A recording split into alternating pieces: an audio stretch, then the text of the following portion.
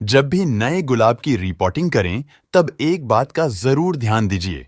उसमें पहले से खिले फूल को काटकर ज़रूर हटा दिया कीजिए। इससे पौधे अपना पूरा एनर्जी ग्रोथ में लगाएँगे और पौधा घना होगा और इसमें ज़्यादा फूल आएँगे।